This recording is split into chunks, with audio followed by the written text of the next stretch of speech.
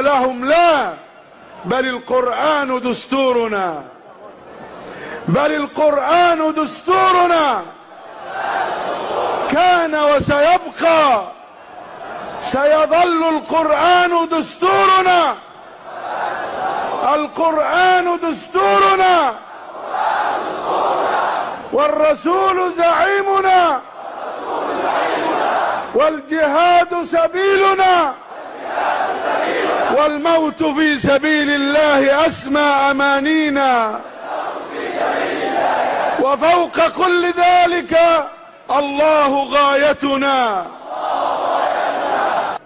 الشريعة ثم الشريعة ثم الشريعة. ولا خير في هذه الأمة. ولا خير لهذه الأمة. لا خير فيها ولا خير لها. ولا نهضة إلا بالشريعة الإسلامية.